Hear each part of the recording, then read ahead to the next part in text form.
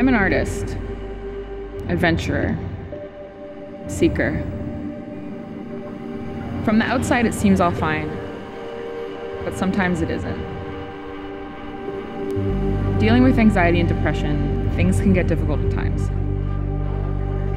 It gets very dark in my mind, and I mean really dark. I feel cornered, pushed,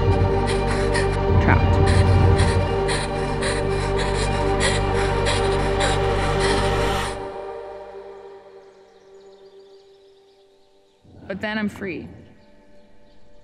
Growing up in British Columbia, nature was always around me, and it's the one place I've always went to figure myself out.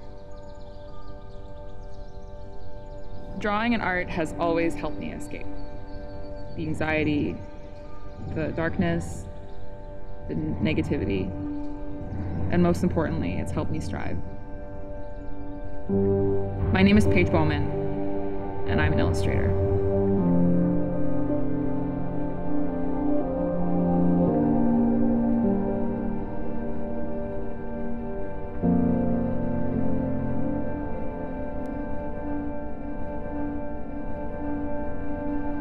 I've only really started to reconcile having anxiety in the last four or five years of my life.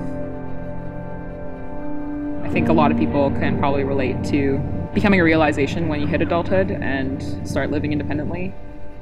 I find that because my work has been always an escape for me ever since I was a child, now I feel like that importance is amplified because it allows me to recenter myself,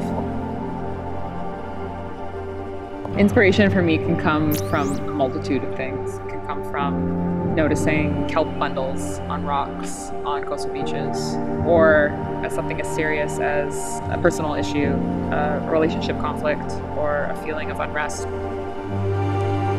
I find myself really motivated to be a Vancouver artist because of that drive to stay and make work despite how challenging it can be to be an artist here.